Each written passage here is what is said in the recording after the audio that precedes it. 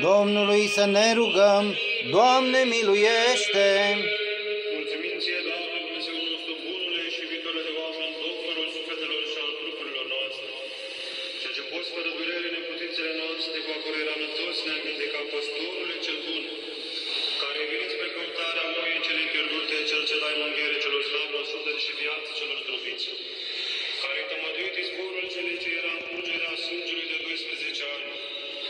Pe fi, cel ce pe fica femeii cananeen ce a izbăvit-o de leonul cel cumplit, care a iertat datoria celor nedatornici și a-i dat iertare femeii cele păcătoase, cel ce dori vindecare slăbănogului împreună cu iertarea păcatelor lui,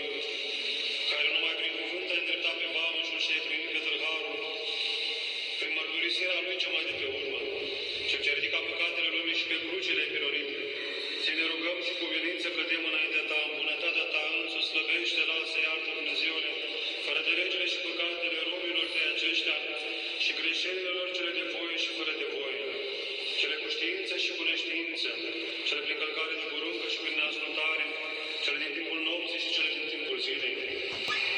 Și te sunt și blestem preoței sau tatălor sau mamei, Da, da. sau cu ochi au poftit sau cu mirosul sau cu satul sau desfrânatul, cu ticoitul sau pornit pe desfrânare,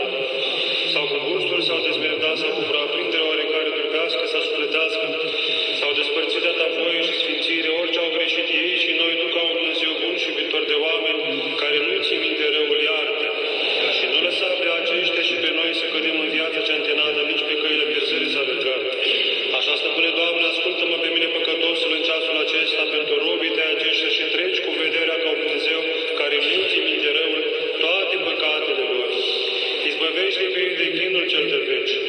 Gura lor o umple de laudă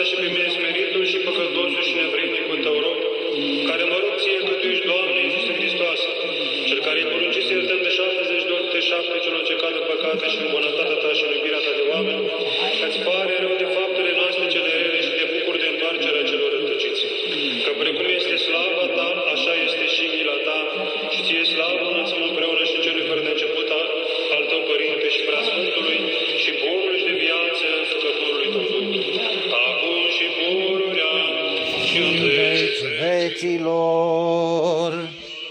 Amin. Domnului să ne rugăm. Doamne miluiește! Părinte Sfinte, Doctorul sufletelor și al trupurilor, care trimis pe unul născut Fiul Tău, Domnul nostru Iisus Hristos, să vindece toată boala și să răscumpere din moarte, tămăduiește pe rubii pe aceștia, de neputința trupească și sufletească ce i-a cuprins și fă să vieze prin harul Hristosului Tău. Pentru rugăciunile preacurate este părinii noastre, născătoare de Dumnezeu și pururea Fecioară Maria, cu puterea cinstită și de viață făcătoare cruci, cu ocrotirile cinstitelor cereștilor celor fără de druputeri, pentru rugăciunile cinstitului slăvitului proroc înainte mergătorul și botezătorul Ioan, ale Sfinților Slăviților și pentru tot lăudaților apostoli, ale Sfinților Slăviților și bunilor biruitori mucenici, ale Sfinților cuvioși de Dumnezeu purtători părinței noștri, ale Sfinților tămăduitori fără de ardinți Cosma și Damian Chir și Ioan Pantelimon și Ermonai, Samson și Diomin Moche și Anichita Lăleu și Trifon, ale Sfinților dreptilor Dumnezeieștilor, părinți Joachim și Ana și pentru tuturor Sfinților, că Tu ești izvorul tămăduirilor Dumnezeului, Dumnezeul nostru și Ție slavă înălțăm, împreună și în anul Fiului Tău și Preasfântului Duh. Acum și pur, Acum și pururea și în vecii vecilor. Amin. Doamne, armă asupra diavolului, crucea ta o ai dat nouă, că se îngrozește și se cutremură, nesuferind a căuta spre puterea ei, căci morții ai sculat și moartea o ai surpat. Pentru aceasta ne închinăm, îngropării tale și învierii